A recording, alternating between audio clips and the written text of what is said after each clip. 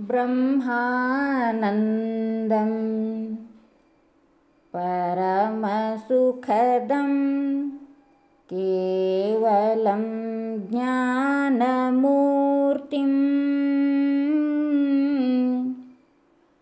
द्वन्द्वातीतं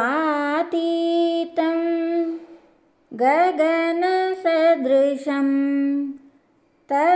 तत्त्वमस्यादिलक्ष्यम्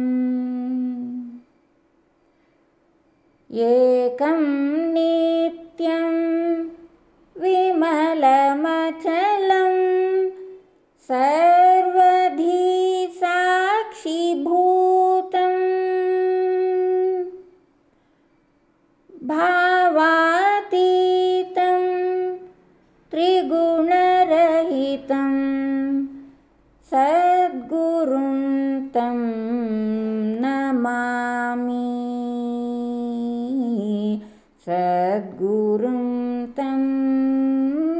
नमामि।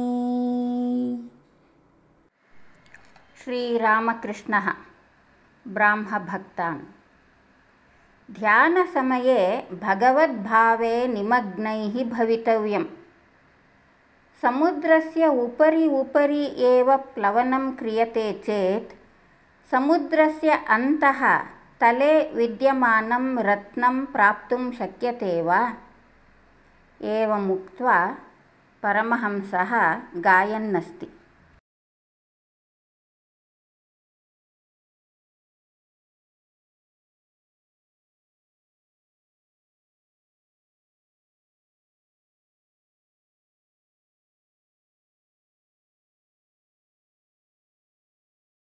रत्नाकरः कदापि शून्यः न द्वित्रवारं मज्जनेन रत्नं न लभसे चेत् मा भावय रत्नाकरः रत्नशून्यः इति।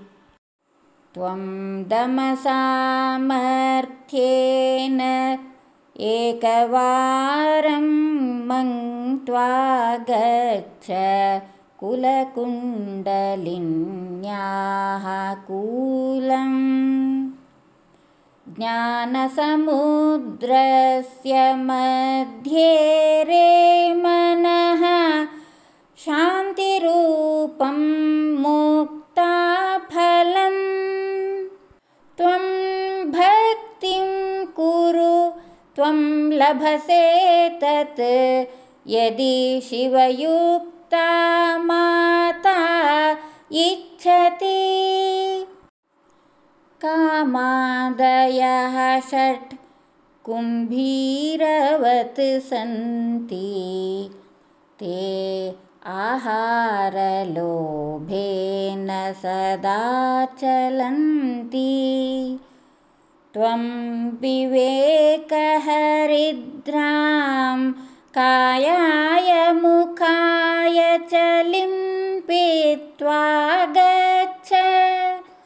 यदि हरिद्रागन्धः भवति तर्हि ते त्वां न स्पृशन्ति। रत्नानि माणिक्यानि कतिपतितानि सन्ति तस्मिन् जले रामप्रसादः वदति मङ्क्त्वा अन्तः गत्वा लभस्व तानि फलानि।